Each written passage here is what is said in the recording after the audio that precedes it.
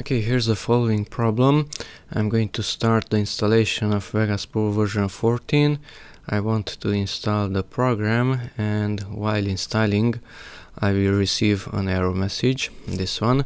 Error getting file security at this path, C program data and Vegas folder. Okay, so to fix it, here's the solution. It's a registry file, double click on it to edit to a registry yes and successfully added.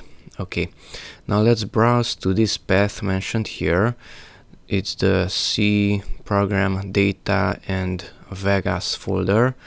Okay and right click on Vegas folder and take ownership. Click on take ownership a window appears and disappears.